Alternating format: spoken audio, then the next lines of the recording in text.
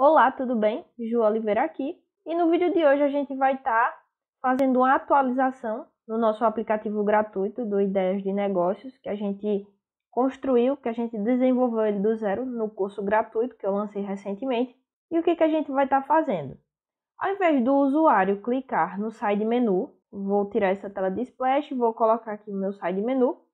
Ao invés dele estar tá avaliando o aplicativo indo aqui no Google Play, e fazendo a resenha, o que, que a gente vai fazer? Ele vai fazer isso dentro do aplicativo. Ele não vai precisar sair para ir lá no Google Play fazer essa avaliação. Ele vai poder fazer aqui dentro do próprio aplicativo.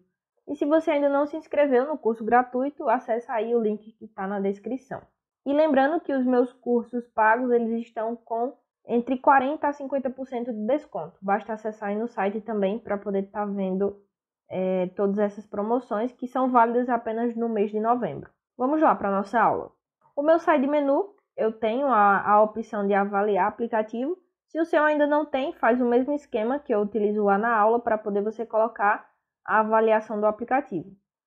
Vou deixar o meu side menu é, escondido e vou voltar para a tela de splash. Lembrando que isso serve para qualquer aplicativo que você tiver. Eu estou utilizando a extensão do DeepHust em App Review, você vem aqui em importar e importa a extensão que está aí na descrição ou você pode baixar diretamente no aplicativo dele. Arrasta a extensão para o projeto, ela não tem nenhum tipo de configuração. Então a gente vai para a parte dos blocos e antes para o aplicativo ser avaliado era necessário a gente adicionar um Active Start e colocar o link né, do nosso aplicativo aqui dentro para ele fazer uma chamada por fora. Mas eu vou até excluir que eu não preciso mais disso. Agora a gente vai fazer tudo através da extensão. Clica no em App Review e a gente vai estar tá fazendo essa chamada. Só que antes eu quero que o meu usuário avalie o meu aplicativo após três vezes. Então depois que ele entrar três a duas vezes, a gente lança. Você escolhe ou você coloca duas ou três vezes para poder o usuário poder é, ter mexido no seu aplicativo para somente depois ele avaliar. Para a gente estar tá contando quantas vezes o usuário acessou o nosso aplicativo, a gente vai precisar construir um procedimento. Você vai ter que vir aqui em Procedures, clica em Procedimento, e aqui dentro a gente vai colocar assim, ó, verifica, verifica sessão. E para a gente estar tá verificando essa sessão, vamos precisar vir aqui em Control para pegar o bloco de if, e também vamos precisar do nosso TimeDB. A gente vai precisar verificar quantas sessões, quantas vezes o usuário iniciou o nosso aplicativo. Para isso, a gente vai precisar de um bloco matemático, para a gente estar tá fazendo a contagem de quantas vezes ele acessou. Sempre que o meu aplicativo for inicializado, a gente vai fazer essa verifica sessão. A gente vai verificar, vamos criar aqui uma tag. Essa tag vai se chamar verifica sessão. E esse verifica sessão, ele vai receber o número zero, porque assim que o usuário entrar, vai estar tá com o número zero. E a gente vai perguntar se esse verifica sessão, ele continua em zero ou ele é igual a 2. Ou igual a 3, vamos colocar aqui três vezes. Se ele for igual a três vezes, é porque o usuário já entrou três vezes e a gente já, e a gente já pode chamar o nosso avaliador né, na nossa extensão. Só que a partir do momento que o usuário for clicando e entrando no nosso aplicativo, a gente precisa salvar todas as sessões dele. Para isso, a gente vai pegar o TimeDB novamente e sempre que ele entrar, ele vai fazer essa verificação. Se o verifica sessão for menor do que 3, a gente vai salvar. Então, o usuário entrou pela primeira vez, a gente vai ter que somar a sessão que já estava, que é zero, e vamos somar ela com mais um. Então, verifica a sessão, vai ser somado com 1. Coloco o número 1. Então, o que, que vai acontecer aqui? Ó? Iniciei meu aplicativo. Se o verifica sessão for menor do que 3, se for a primeira vez do usuário, vai ser menor do que 3. Então, a gente soma, soma essa tag do verifica sessão com 1. Quando o usuário entrar novamente, aqui não vai ser mais 0, vai ser o quê? Vai ser 1. Se for menor do que 3, ele vem aqui para baixo novamente e soma mais 1. Então, 1 mais 1, 2. Aí vem para cá novamente. Quando o usuário inicializar o aplicativo, de novo, pode ser até ó, menor ou igual a 3. Se for menor ou igual a 3, então ele não vai vir mais para cá. Quer dizer, ele vai continuar vindo para cá e somando 3, 4, 5 e assim, e assim quantas vezes o usuário entrar. Só que para a gente estar tá modificando, basta inserir na engrenagem um else. Se for menor do que 3, a gente vai somar. Se não for menor do que 3, ele vai vir para cá. E é aí que a gente vai fazer o nosso review. Vem na extensão e faz o request review. Com isso, o usuário já vai poder fazer a avaliação do aplicativo. Vamos chamar o nosso, o nosso procedimento aqui já está pronto. Vamos chamar ele adicionando procedures, verifica a sessão aqui dentro do nosso inicialize. Pode jogar ele aqui no topo. Com isso daqui, o usuário já vai estar tá fazendo a sua avaliação. Essa daqui é a primeira lógica que a gente pode estar tá implementando. A segunda é adicionar o request review dentro do próprio BTN avaliar aplicativo. Então a gente vai forçar o usuário a fazer a verificação de sessão após três vezes que ele tenha entrado no aplicativo e a gente também vai fazer a avaliação quando ele clicar no nosso side menu para poder fazer a avaliação por espontânea vontade.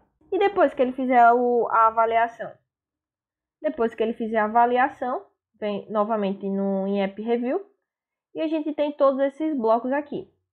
Quando ele fizer a avaliação, a gente vai pegar aqui o notifier e vamos avisar, né?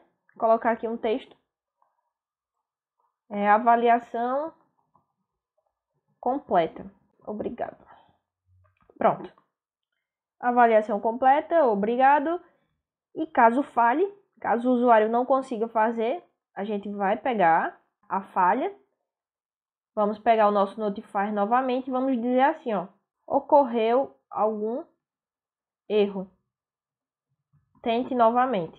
E quando falhar também, vamos pegar aqui o outro, a outra falha e vamos colocar o show alert novamente. E para estar tá melhorando ainda mais a nossa, a nossa estrutura dos blocos, a gente pode colocar que quando o usuário completar a nossa avaliação, eu vou chamar o TimeDB. Vou pegar novamente o meu TimeDB e vou salvar uma tag para informar que o usuário já fez essa avaliação e ele não precisa fazer novamente. Para isso eu vou criar uma nova tag e essa tag ela vai se chamar avaliado. Ele já avaliou. Com isso, eu posso colocar no meu banco de dados sim, só o nome sim, avaliado. E aqui dentro do nosso verifica sessão, ao invés dele vir aqui para o request, eu vou fazer outra verificação. Vou vir no control, vou fazer a verificação pegando o bloco de lógica e vou comparar. Ou você também pode vir aqui no compare text para a gente comparar se o nosso get value é igual a avaliado. Basta pegar a tag aqui avaliado Vamos excluir o número zero e colocar um texto. Pode excluir, pronto. Aqui a gente informou que o usuário já fez a avaliação, então a gente armazena isso dentro do Story Value. E antes do e quando tiver três vezes, então o usuário desinstalou o aplicativo e instalou novamente. Só que ele já fez essa avaliação, então ele não precisa fazer novamente. Ele desinstalou o aplicativo, mas continua a avaliação lá do mesmo jeito. Para isso, a gente vai dizer, vai pegar o TimeDB avaliado e vamos verificar se esse avaliado é diferente. É diferente de quê? É diferente do nome sim, que foi o que a gente colocou no banco de dados. Se essa tag for diferente de sim, aí a gente vai pedir para ele avaliar o aplicativo. Pronto, e com isso a gente termina de fazer a nossa verificação. Vamos lá testar? Deixa eu baixar aqui o meu APK. Lembrando que o meu aplicativo ele está no Google Play, né? Se o seu não tiver, ele não vai conseguir fazer isso. Bom, e como eu falei no início, o aplicativo tem que, tem que estar né, no Google Play, na Play Store. Agora eu vou clicar em ideias de negócios. Vou colocar para abrir o aplicativo. É, ele vai pedir essa ação porque eu estou utilizando o AdMob e eu instalei ele pelo APK. Eu ainda não fiz a atualização no Google Play. Mas se eu vim aqui no side menu, eu não vou entrar aqui três vezes, eu vou, vou vir direto no avaliar app. Cliquei, ele não saiu do meu aplicativo, eu posso vir aqui e fazer a minha avaliação, vou enviar.